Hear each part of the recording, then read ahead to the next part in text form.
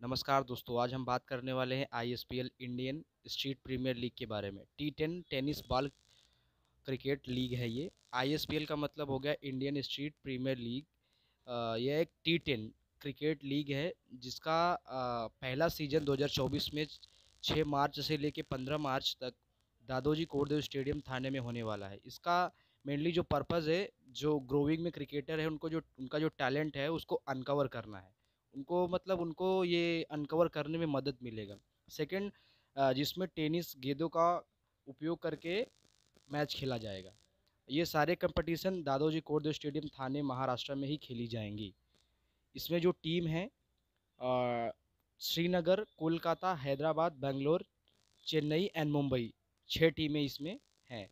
इसमें छः टीमों के लिए ग्यारह करोड़ मतलब 150 मिलियन की रिकॉर्ड बोली लगाई गई है, जिसमें बॉलीवुड स्टार अक्षय कुमार, श्रीनगर के वीर के लिए, संजय गुप्ता और रोहन गुप्ता की S G sport private limited ने दो सौ इक्यावन करोड़ की मतलब 31 मिलियन की हाईएस्ट बिड बोली लगाई है।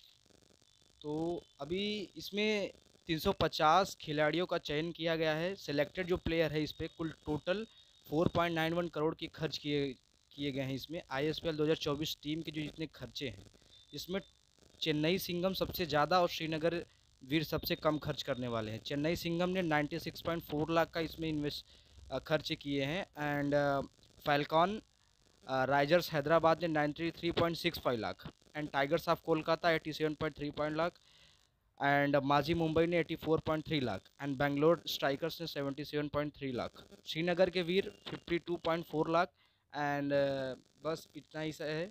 और आपको इसका टिकट बुक करने के लिए बुक ऑन माई शो पे जाना है एंड स्पोर्ट्स को सेलेक्ट करना है एंड अपकमिंग इवेंट्स पर क्लिक करके आपको वहाँ से आपका अपना टिकट बुक कर सकते हैं। तो thank you so much guys मिलते हैं नेक्स्ट ब्लॉग में।